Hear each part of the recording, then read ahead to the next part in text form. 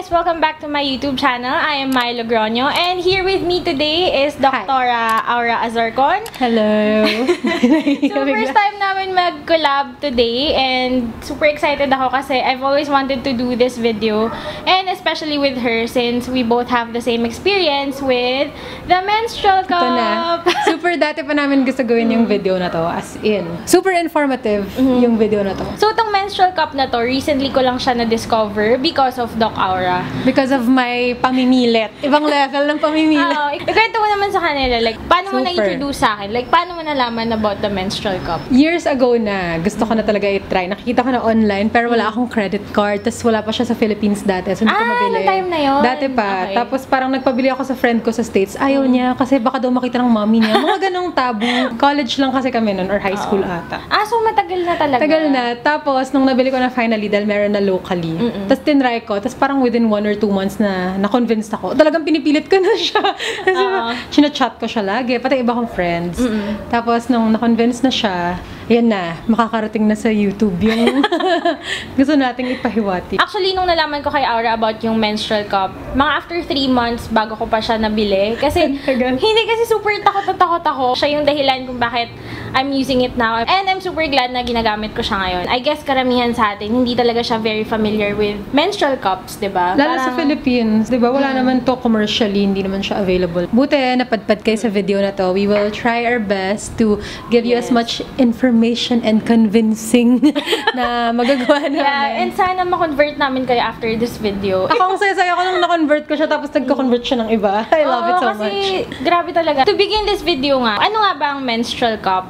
Ang menstrual cup ay isang feminine hygiene product na alternative to pads and tampons. Yeah. At ang menstrual cup ay pinapasok sa ating vagina. Ganda lang talaga siya kalaki. Yung material niya, it's made of medical grade silicone. So, safe talaga siya ipasok inside. Since nasabi mo na medical grade silicone siya, yung concern about TSS or toxic shock syndrome, can you Yeah. tell us more about that? Yung toxic shock syndrome, yun yung pinaka-black box warning sa tampons. Ibig sabihin, yun yung worst na pwede mangyari when you insert a foreign body inside your body. Pero kasi yung tampons, gawa sa cotton.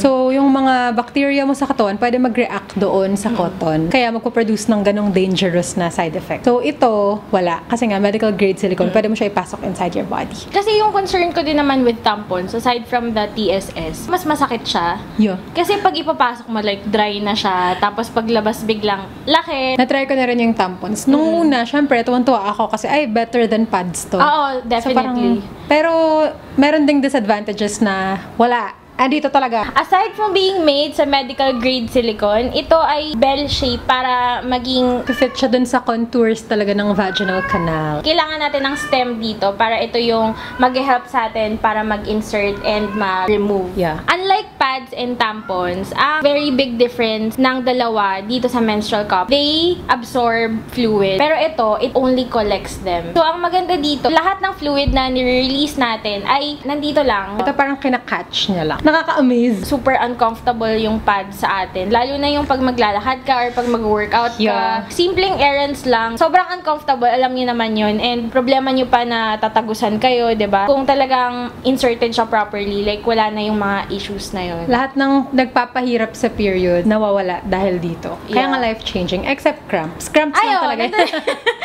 Tapos, unlike pads and tampons that you have to buy every month, tapos pagkagamit mo, itatapon mo na. Ito, super tipid kasi once mo lang bibilin, tapos good for 2 to 5 years na siya. Grabe, no? Depende kung gano'n siya kakaalagaan. Mm-mm. Tapos, hindi pa siya makalat. Like, yung blood na makakolect, tapon lang diretso sa toilet, tapos wash mo. Wala kang additional waste na pinoproduce every month. Yung pads nga for me, pag heavy days ko, mga 4 to 5 pads ako. Grabe yung nakakontribute kong... Ako din. Grabe yung nakakontribute kong kalat. Hindi naman kasi biodegradable yung products na ginagamit Yes. sa mga sanitary napkins Oo natin. nga. eh. So in the long run, mas matipid talaga to tsaka mas hindi makalat. So, you guys can use this for A long time. for a long time. Most menstrual cups come in different sizes. So, meron siyang regular and then meron siyang large. Hindi ko din ma-imagine na kasya talaga siya sa katawan natin. Alam mo, Diba? nung una parang, ano, ang laki naman yan. Pero sa totoo lang, hindi. Flexible naman siya. Super intimidated talaga ako nung una kasi parang ang laki oh.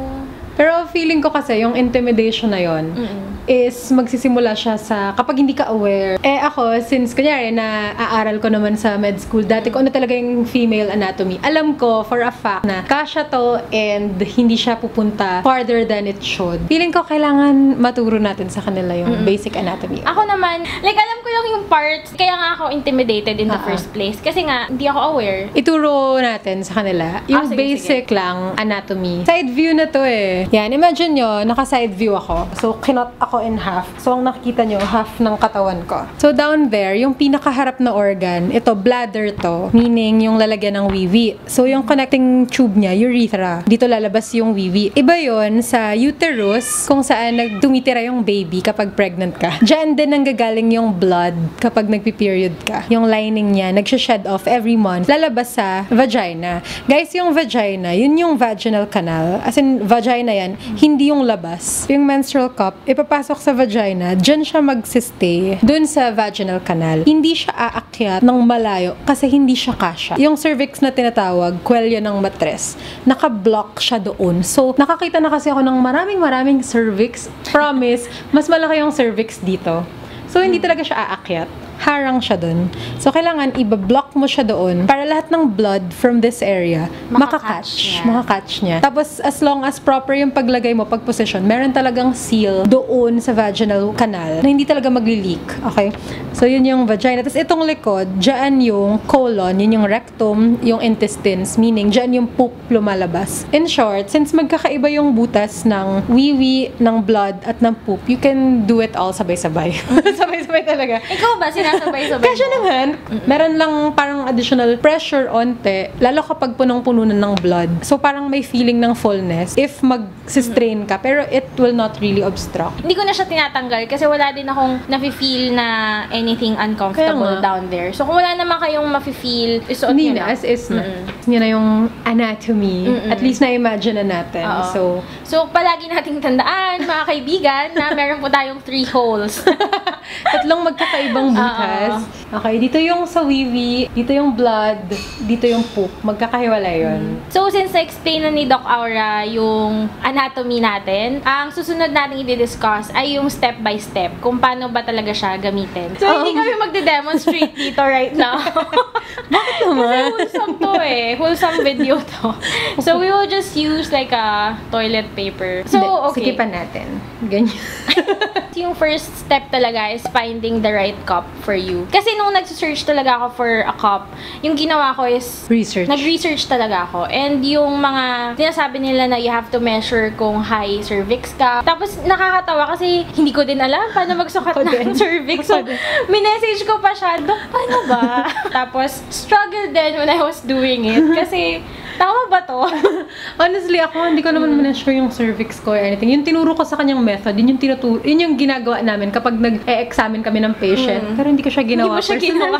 Pero like, hindi ko alam ano ba Ano dito. ba dito yun? Oo. If you want to measure, kunyari ito yung cervix, andun siya sa ending ng uterus. Papasok niyo yung finger niyo doon sa vaginal canal hanggang ma-feel niyo yung parang bilog na yung texture niya parang ilong. Consistency niya, yun talagang description sa Totoo books. ba? Firm. Kasi nung parang pinifeel ko, parang hindi naman siya ilong. Well, although, it will change kasi the consistency depende sa cycle mo. Sometimes mas soft siya, sometimes firm siya. ah, kaya pala. Pero pag may na-feel kayong may ano dun, ano to? Yun Parang na yun. dulo na. Ah, walang, wala ka ibang mafe-feel dyan. Kundi Kundi yun. I-measure mo, may na-feel ka dyan, hanggang saan yung vaginal opening. So, mga hanggang dyan. So, pag dito sa gitna, ano to? Average? Parang, o di yan, no, tignan nyo, imagine nyo. Well, estimate lang naman to. Usually yan, maha- mahaba yan eh. Ibig sabihin, kasya yung cup. Kung nasa stress kayo sa hindi kasya or hindi, pwede nyo measure. And then, next step is, pag nasa inyo na yung cup, you master the art of folding. Wow. So,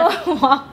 Actually, marami siyang different kinds of folds na makikita sa YouTube. But, yung tatlo lang yung tinry ko and isa lang yung nag-work for me. Okay. so, isa yung ba? Ilan yung tinry mo? Ako isa lang. Tapos hindi siya nag-work nung una, pero pinilit ko.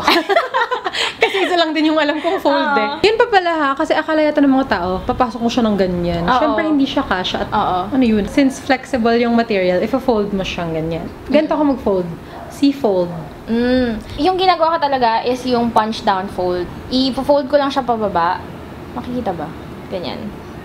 So, kaya gusto ko siya kasi ito yung may pinaka-small diameter sa lahat ng folds, Oo I eh. think. Oo. Mukha naman. Kasi yung ginagawa ko, di ba, ganyan. Literal, nagagawa ko ng letter C. Mm-mm. So, C fold. Eh, mas malaki pala yung, ginagawa. Oh, actually, tinry ko din to, pero hindi siya nag-work for me.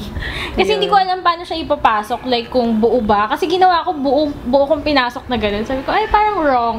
Ako din, nung una, buo. Tapos parang, eh, pero yun pala, pwede namang parang itong part lang Part na na to. nila. Parang Oo. pa-diagonal mo siya ipapasok. Toink. Mm-mm. Sige, ako din. Ito try ko yung ginagawa mo. Mm-mm. Punch down. And then, meron pang isa na seven-fold. Actually, super dami. May pa-S pa nga na pa ganun. Pero-.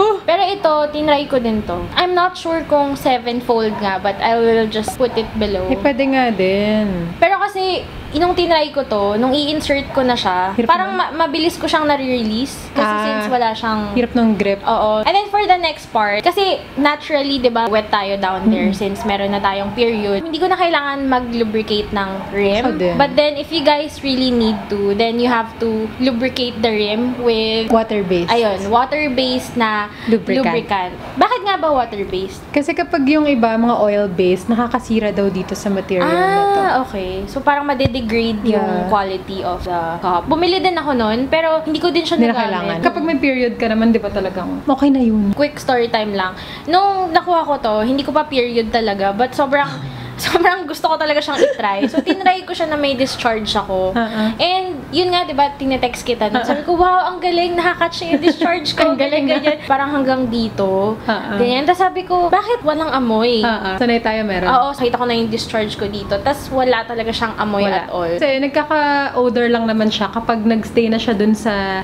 pad. Pad. Tapos na-expose sa air, na-expose dun sa mga iba mong bacteria na nasa labas ng Oo. vagina. Kasi may bacteria ka sa skin, dun sa hair, down there. Iba yun sa bacteria mo inside. Okay, next one is the insertion. Ayan na.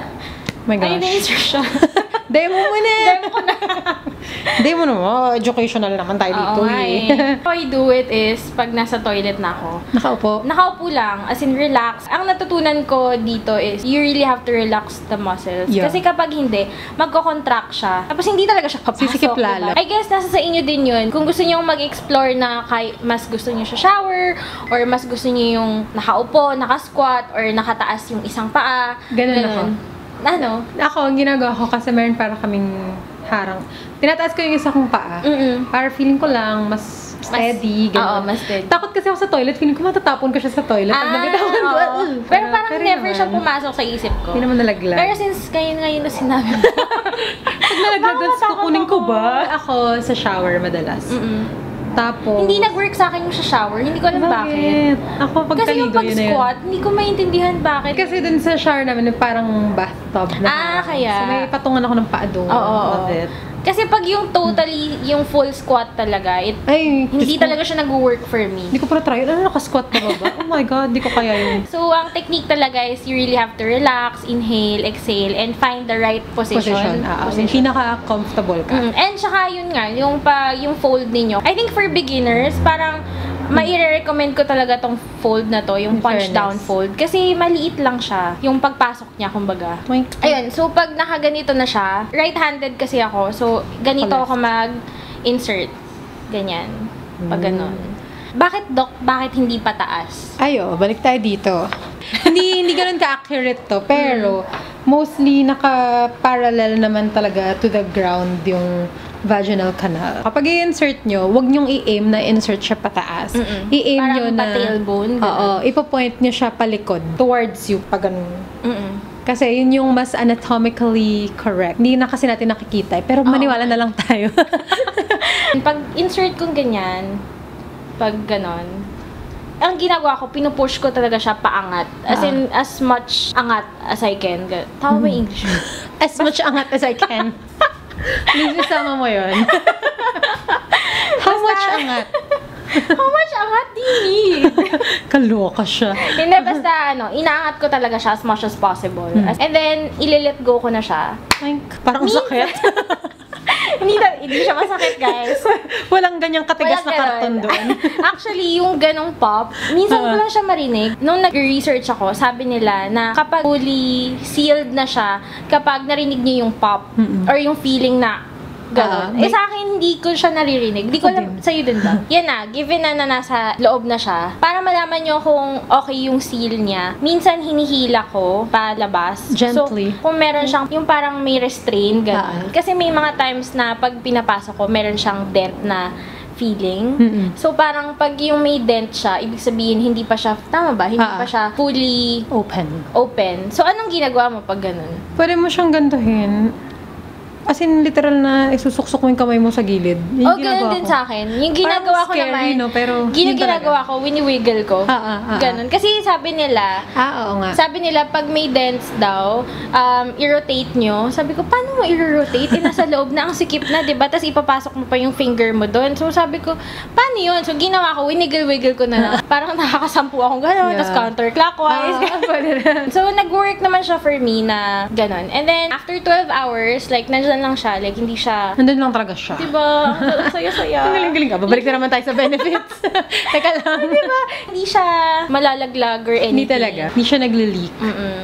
So, I guess yung pinaka-first part na kailangan yung matutunan is paano mag-insert. Tapos nakaka-intimidate. Pero once mapasok nyo, nandun lang talaga siya. Sobrang worth it. Tsaka to be honest, mahirap siya at first kasi you have to get used to it eh. So parang sa buhay natin, pag may something na bago sa atin, 'di ba, kailangan natin mag-adjust. Yeah. So ganito din with the cup. Parang similar siya nung first time ko mag-contact lenses. Inisip ko yun, ayoko talaga mag-contacts. Sucks Kasi ako. nga, gustong gusto ko mag-contacts, ganyan. Pero ayoko talaga.